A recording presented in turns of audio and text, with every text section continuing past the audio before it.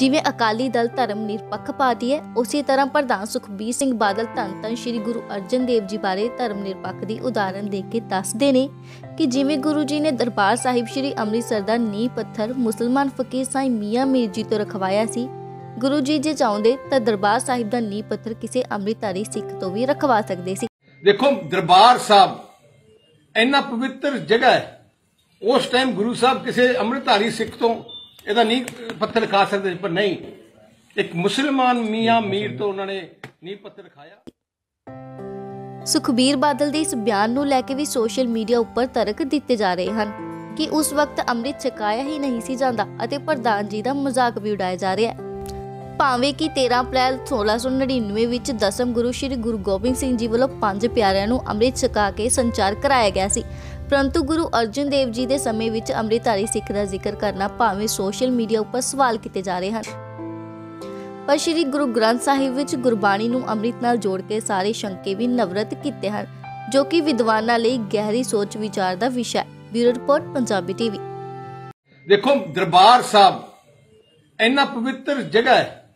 ਉਸ ਟਾਈਮ ਗੁਰੂ ਸਾਹਿਬ ਕਿਸੇ ਅੰਮ੍ਰਿਤਧਾਰੀ ਸਿੱਖ ਤੋਂ ਇਹਦਾ ਨੀਂਹ ਪੱਥਰ ਖਾ ਸਕਦੇ, ਪਰ ਨਹੀਂ ਇੱਕ ਮੁਸਲਮਾਨ ਮੀਆਂ ਮੀਰ ਤੋਂ ਉਹਨਾਂ ਨੇ ਨੀਂਹ ਪੱਥਰ ਦੇਖੋ ਦਰਬਾਰ ਸਾਹਿਬ ਇੰਨਾ ਪਵਿੱਤਰ ਜਗ੍ਹਾ ਹੈ। ਉਸ ਟਾਈਮ ਗੁਰੂ ਸਾਹਿਬ ਕਿਸੇ ਅੰਮ੍ਰਿਤਧਾਰੀ ਸਿੱਖ ਤੋਂ ਇਹਦਾ ਨੀਂਹ ਪੱਥਰ ਖਾ ਸਕਦੇ ਪਰ ਨਹੀਂ।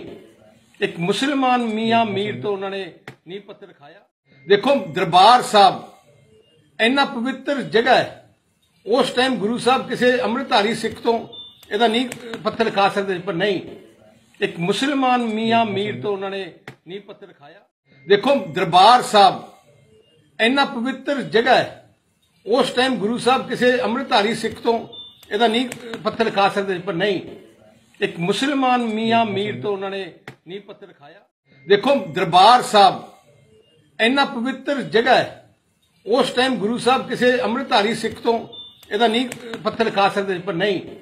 ਇੱਕ ਮੁਸਲਮਾਨ ਮੀਆਂ ਮੀਰ ਤੋਂ ਉਹਨਾਂ ਨੇ ਨੀਂਹ ਪੱਥਰ ਖਾਇਆ ਜਿਵੇਂ ਅਕਾਲੀ ਦਲ ਧਰਮ ਨਿਰਪੱਖ ਪਾਰਟੀ ਹੈ, ਉਸੇ ਤਰ੍ਹਾਂ ਪ੍ਰਧਾਨ ਸੁਖਬੀਰ ਸਿੰਘ ਬਾਦਲ ਧੰਨ ਧੰਨ ਸ੍ਰੀ ਗੁਰੂ ਅਰਜਨ ਦੇਵ ਜੀ ਬਾਰੇ ਧਰਮ ਨਿਰਪੱਖ ਦੀ ਉਦਾਹਰਣ ਦੇ ਕੇ ਦੱਸਦੇ ਨੇ ਕਿ ਜਿਵੇਂ ਗੁਰੂ ਜੀ ਨੇ ਦਰਬਾਰ ਸਾਹਿਬ ਸ੍ਰੀ ਅੰਮ੍ਰਿਤਸਰ ਦਾ ਨੀਂਹ ਪੱਥਰ ਮੁਸਲਮਾਨ ਫਕੀਰ ਸਾਈਂ ਮੀਆਂ ਮੀਰ ਜੀ ਤੋਂ ਰਖਵਾਇਆ ਸੀ, ਗੁਰੂ ਜੀ ਜੇ ਚਾਹੁੰਦੇ ਤਾਂ ਦਰਬਾਰ ਸਾਹਿਬ ਦਾ ਨੀਂਹ ਪੱਥਰ ਕਿਸੇ ਅੰਮ੍ਰਿਤਧਾਰੀ ਸਿੱਖ ਤੋਂ ਵੀ ਰਖਵਾ ਸਕਦੇ ਸੀ।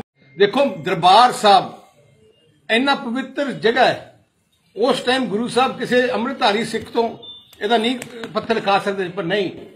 ਇੱਕ ਮੁਸਲਮਾਨ ਮੀਆਂ ਮੀਰ ਤੋਂ ਉਹਨਾਂ ਨੇ ਨੀਂਹ ਪੱਥਰ ਖਾਇਆ। ਸੁਖਬੀਰ ਬਾਦਲ ਦੇ ਇਸ ਬਿਆਨ ਨੂੰ ਲੈ ਕੇ ਵੀ ਸੋਸ਼ਲ ਮੀਡੀਆ ਉੱਪਰ ਤਰਕ ਦਿੱਤੇ ਜਾ ਰਹੇ ਹਨ ਕਿ ਉਸ ਵਕਤ ਅੰਮ੍ਰਿਤ ਛਕਾਇਆ ਹੀ ਨਹੀਂ ਸੀ ਜਾਂਦਾ ਅਤੇ ਪ੍ਰਧਾਨ ਜੀ ਦਾ ਮਜ਼ਾਕ ਵੀ ਉਡਾਇਆ ਜਾ ਰਿਹਾ ਹੈ। ਭਾਵੇਂ ਕਿ 13 ਅਪ੍ਰੈਲ 1699 ਵਿੱਚ ਦਸਮ ਗੁਰੂ ਸ੍ਰੀ ਗੁਰੂ ਗੋਬਿੰਦ ਸਿੰਘ ਜੀ ਵੱਲੋਂ ਪੰਜ ਪਿਆਰਿਆਂ ਨੂੰ ਅੰਮ੍ਰਿਤ ਛਕਾ ਕੇ ਸੰਚਾਰ ਕਰਾਇਆ ਗਿਆ ਸੀ ਪਰੰਤੂ ਗੁਰੂ ਅਰਜਨ ਦੇਵ ਜੀ ਦੇ ਸਮੇਂ ਵਿੱਚ ਅੰਮ੍ਰਿਤਧਾਰੀ ਸਿੱਖ ਦਾ ਜ਼ਿਕਰ ਕਰਨਾ ਭਾਵੇਂ ਸੋਸ਼ਲ ਮੀਡੀਆ ਉੱਪਰ ਸਵਾਲ ਕੀਤੇ ਜਾ ਰਹੇ ਹਨ। ਪਰ ਸ੍ਰੀ ਗੁਰੂ ਗ੍ਰੰਥ ਸਾਹਿਬ ਵਿੱਚ ਗੁਰਬਾਣੀ ਨੂੰ ਅੰਮ੍ਰਿਤ ਨਾਲ ਜੋੜ ਕੇ ਸਾਰੇ ਸ਼ੰਕੇ ਵੀ ਨਵਰਤ ਕੀਤੇ ਹਨ, ਜੋ ਕਿ ਵਿਦਵਾਨਾਂ ਲਈ ਗਹਿਰੀ ਸੋਚ ਵਿਚਾਰ ਦਾ ਵਿਸ਼ਾ ਹੈ। Bureau report, Punjabi TV.